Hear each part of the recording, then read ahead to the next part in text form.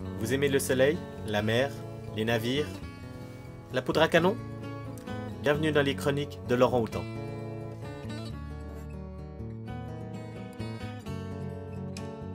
Aujourd'hui, je vais vous parler de la série télévisée Black Sails. Cette série prend place environ 20 ans avant le roman de Robert Louis Stevenson, L'île au trésor.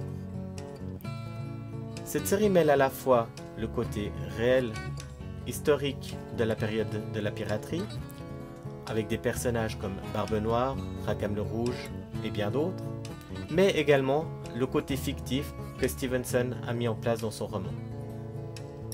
On retrouve les personnages comme Flinch, Long John Silver, dont on se demande bien au départ comment ce personnage peureux qui ne pense qu'à survivre peut devenir le mythique pirate de Stevenson.